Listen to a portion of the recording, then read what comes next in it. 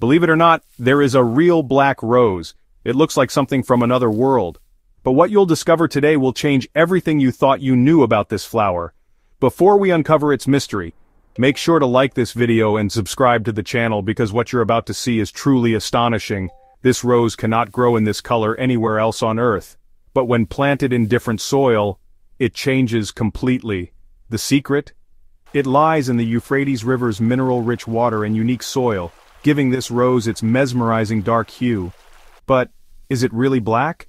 The truth is its color isn't entirely black. Instead it's an extremely deep red that appears black due to the way it absorbs light. Fake black roses? Yes. Most black roses you see in stores aren't natural. They are simply dyed by hand. Farmers have tried growing it elsewhere, but the shocking truth?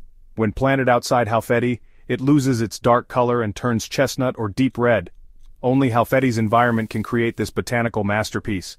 But this rose is more than just a plant. It's a symbol, in some cultures it represents mystery, mourning, or even impossible love. Whether it's a scientific marvel or a romantic legend, the Turkish black rose remains one of nature's greatest secrets. So did you believe black roses actually exist? Let us know in the comments, and don't forget to share this video with lovers of mystery and nature.